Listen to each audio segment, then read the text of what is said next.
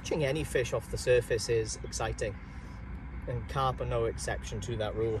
Especially during the summer months when some of the other, especially river species, can be out of contention because of the river temperatures. You can actually turn to, to carp and they thrive in those warm uh, or the warmer months and warmer weeks when essentially you can't target a lot of other fish. And those are actually the best times to catch them on the surface as well. One of the best ways of enticing them to the surface is definitely with biscuits.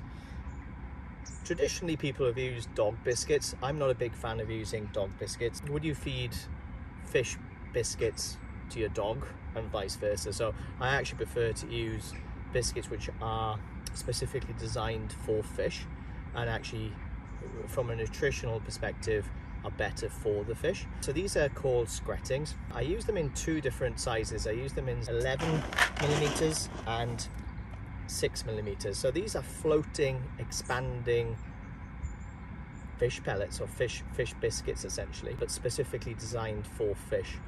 I use the two sizes just to keep the fish guessing. So rather than just using all of them in that 11 millimeter size or all of them in that yeah much smaller size, that six mil, this keeps them guessing because essentially when you, especially if you're fly fishing for them, there's no kind of hard or fast rule to what size your fly is going to be that you're targeting them with. So with this, it keeps them guessing rather than actually looking for just this size or just this size, it actually catches them off guard. And because these do swell, they change color, color as they swell as well, but, uh, but when they do swell, again, they change size. Uh, so you will have, if you're just drip feeding these in, which you should be doing anyway, when you drip feeding them in, you'll have just a myriad of different sizes out there, which again just keep the carp guessing rather than kind of focusing on one size in, in particular. So again, mix mix them up, but do use the fish dedicated pellets or biscuits if you can, rather than the, the dog mixer biscuits, which most people do tend to turn to. They're not much more expensive and you can buy them in 15 kilo bags. They last you a long time anyway. So I just tend to put them all, all in a bucket, mix them all up in there. At the moment, they're not mixed because there's a reason for that.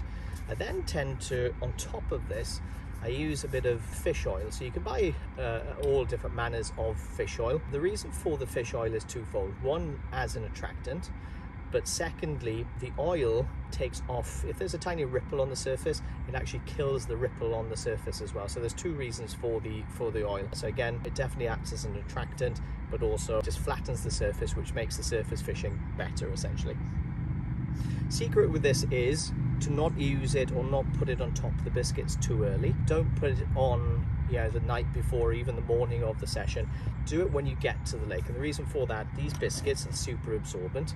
So actually they will absorb that into them too much essentially. You want this as a coating around the biscuit rather than actually absorbing fully into the biscuit, just to create that slick uh, effect.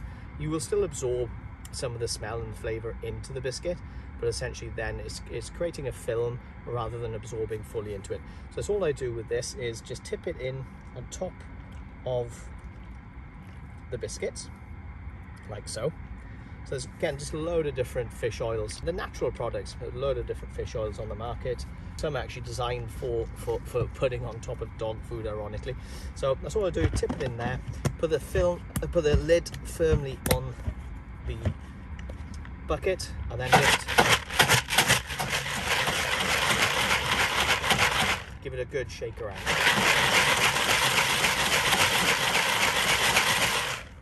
What that will do is it will give the two different size pellets a mix up in the bucket, but also it will fully coat those pellets like you can see there. So there's a good coating on all of those pellets there now, and they're good to go. And the secret is then to just drip feed these in. When you get the fish going, just keep their interest going. So just keep that competitive aspect going with the fish. So feed them in little and often, just keep those fish coming up looking for the food. So don't kind of fully blanket the water all at once, but when they are up, just keep them going. And uh, you often uh, hear them referred to as Pac-Man, so you can imagine them just eating every biscuit as they go along. And that's what you're really looking for, especially if you can get a few fish feeding competing for uh, the biscuits on the surface. But uh, a few different hints and tips there, I hope that will, uh, will hold you in good stead when you do try and target them on the surface in the, in, in the future. Tight lines.